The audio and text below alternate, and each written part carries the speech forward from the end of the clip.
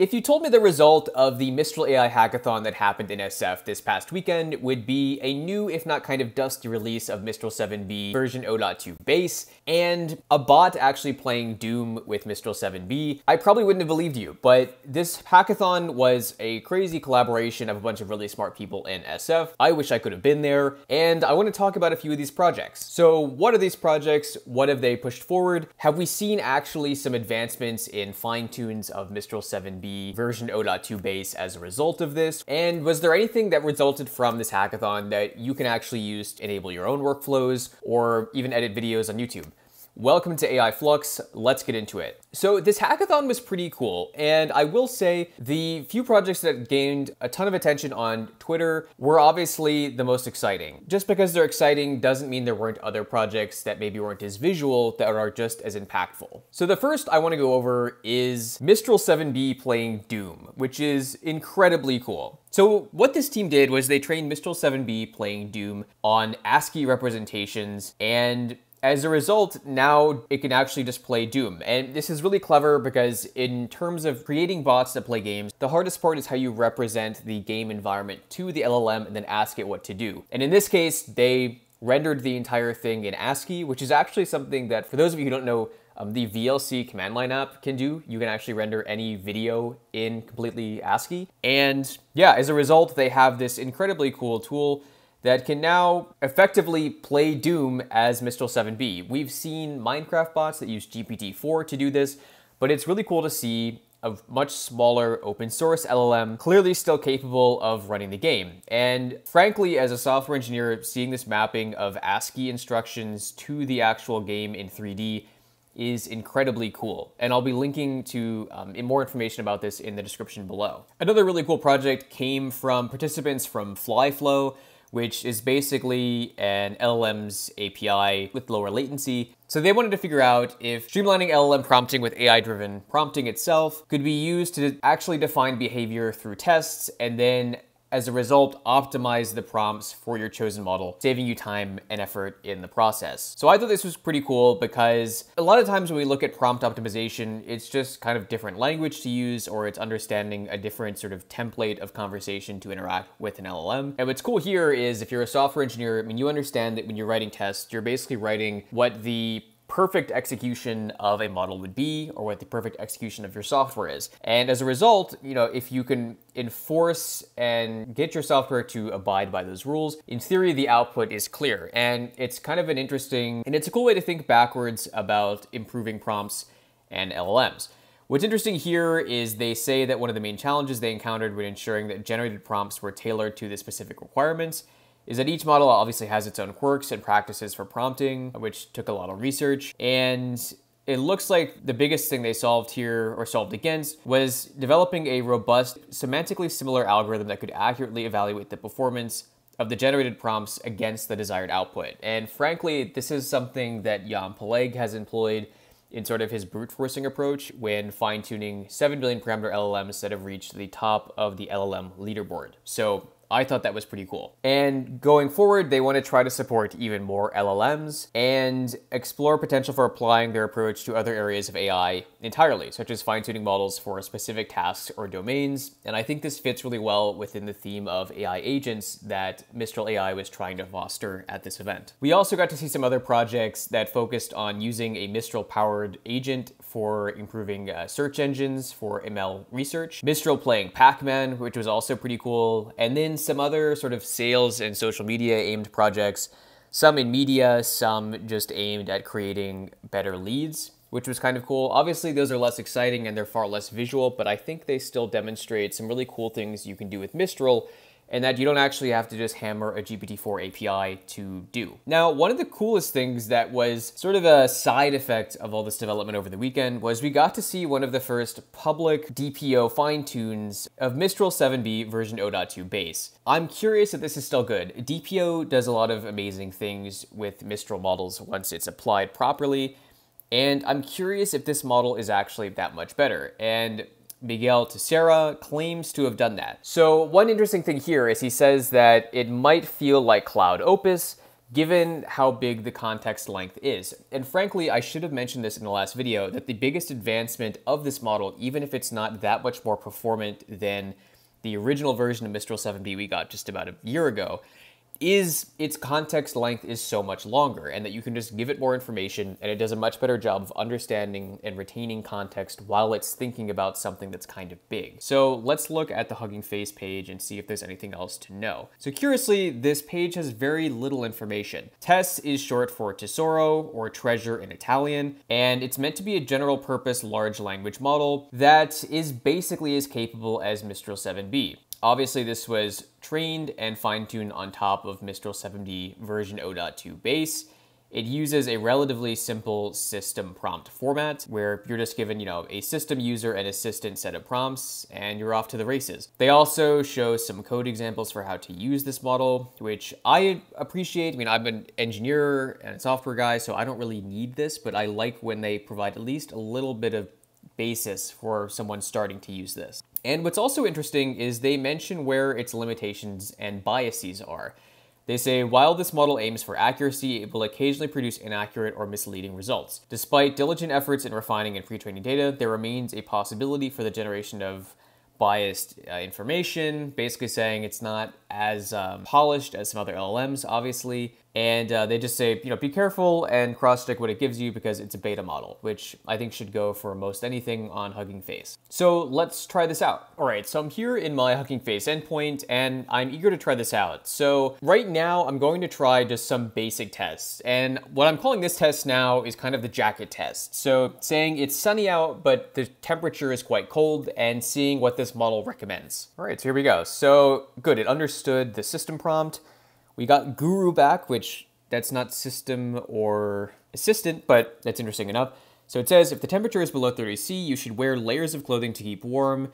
Start with a base layer, moisture wicking fabric, add a middle layer for insulation, such as wool. Okay, good. So it understands you don't want to get uh, too much moisture built up. Say for your lower body, warm fitted trousers or jeans.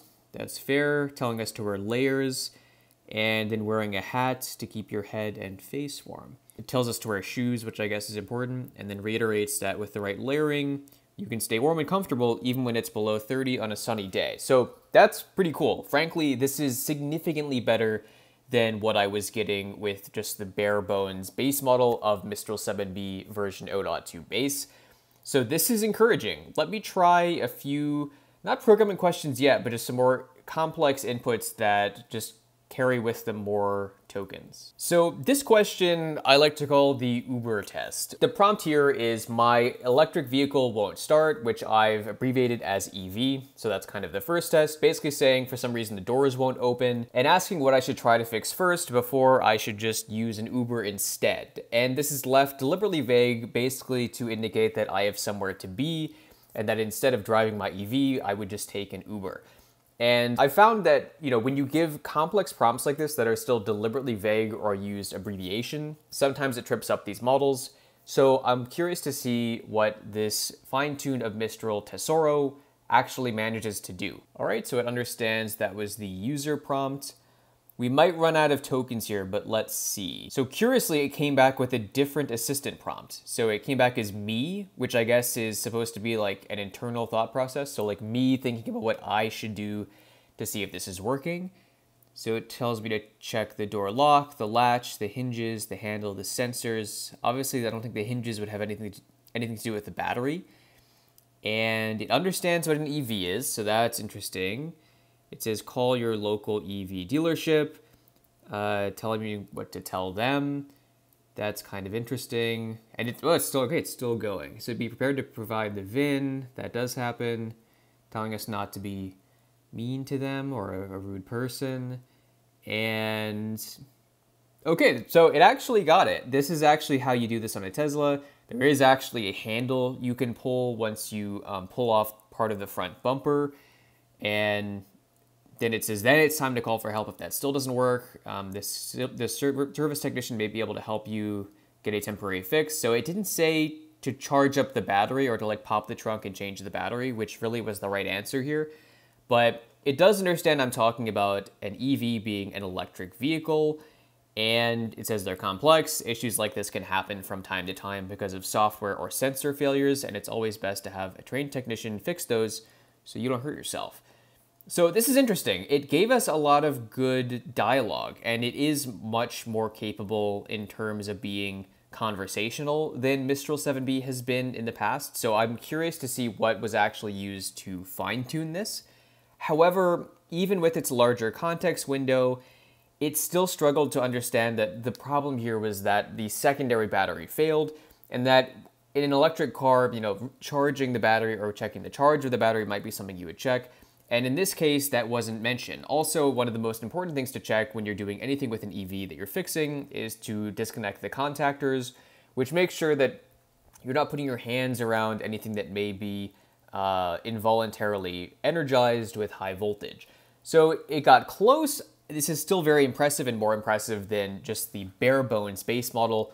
But let's move on to a few coding questions. So I'm using some questions that are a bit more exotic. Today, what I want to ask is if this model can write a function in Lua, so kind of an exotic language, that will allow me to see if an LLM prompt abides by a predefined system prompt. So again, I'm being deliberately vague and not actually giving it a system prompt, but the idea here is I'm showing that the function should take a predefined system prompt format along with a raw prompt, and then tell me if that is actually abiding by it, and then if it's not, then try to do its best to fix it. So this isn't really something that can necessarily be achieved, but I want to see how the model reacts. So let's see what it gives us. So it does give us a relatively complex function here. Lua is interesting because it has some very different ways of manipulating strings, which is kind of cool. And now it's explaining what this does. So it's saying it checks the provided prompt if it matches the format against a few different variables which is kind of cool. So it's looking for predominantly S and U. Basically, I said it always has to have a system and user uh, component.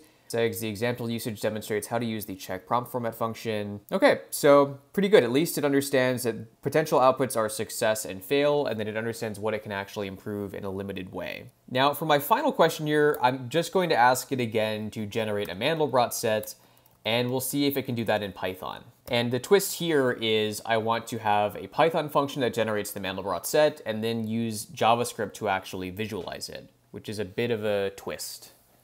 And here we go. So it understood the input prompt, and now we're getting the Python function. Okay, cool. So that looks about right. Mandelbrot set. Now it missed a little bit here because it's saying we're visualizing using matplotlib, which I guess technically uses some JavaScript, but we'll have to see. The general function here for the Mandelbrot set appears right, just in its general structure. Now it's showing us how to use matplotlib to visualize, and we'll see if it just totally ignored the last part. And it looks like it did. Okay, so this would be an example of it kind of hallucinating or deliberately ignoring something we told it to do, because it, it's it appears to just be thinking that matplotlib is JavaScript, which is kind of interesting. So a bit of a miss, and I think this is an example of where we have a lot more conversational ability, specifically having to do with the system prompt this uses, which is uh, a user, system, and assistant. And I think sometimes system and assistant get a little bit mixed up with this model. But nonetheless, this is an incredibly impressive model coming off just a weekend of hacking at the SF hackathon sponsored by Mistral AI. I hope that we see more events like this where we see more kind of novel use cases. Obviously, a lot of what we see from these um, events is not like super directly applicable to business things. Uh, and the ones that you generally see on Twitter are more visual. But then again, having it play Doom and Pac Man was really cool. And yeah, so I'm curious, have any of you in the meantime been fine tuning on top of Mistral 7B version 0.2 base? Do you think Tess or Tesoro is actually a market improvement from my previous video covering Mistral 7B via .02 base? Let me know in the comments below. As always, I hope you learned something in this video. If you like this video, please like, subscribe, and share, and we'll see you in the next one.